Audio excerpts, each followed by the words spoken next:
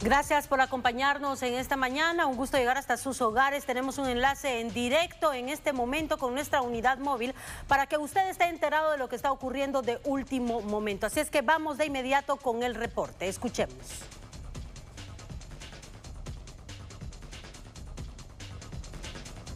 Gracias compañeros en estudios centrales actualizando los datos de un accidente de tránsito donde un bus de transportes Adrianita de Transportes Extraurbanos que salía a la ciudad capital de San Raimundo se precipitó a un barranco en eh, carretera San Juan eh, Zacatepeques, Guatemala.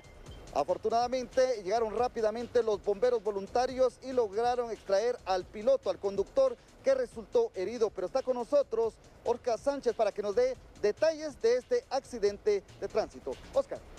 Y queremos dar a conocer que en el kilómetro 39 en jurisdicción de la aldea Comunidad de Ruiz, San Juan Zacatepeques, específicamente en el puente Satsi, cae el autobús con placas comerciales 494 BJH al barranco de 30 metros aproximadamente. A la llegada los paramédicos localizan al piloto con golpes en diferentes regiones del cuerpo, quien fue trasladado a una clínica cercana al lugar del accidente. Asimismo, tres personas más quienes se conducían a bordo de este autobús fueron atendidas con crisis nerviosa y golpes quienes indicaron que posteriormente se dirigirían a un centro asistencial.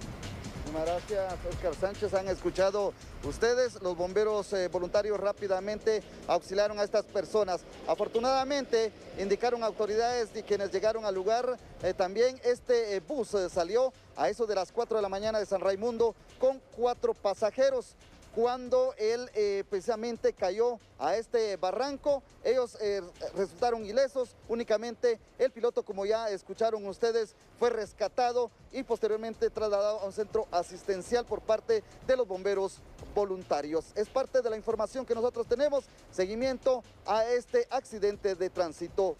Luis Raimundo en cámara, yo soy Marvin García, regreso con ustedes a Estudios Centrales. Bueno, muchísimas gracias Marvin García.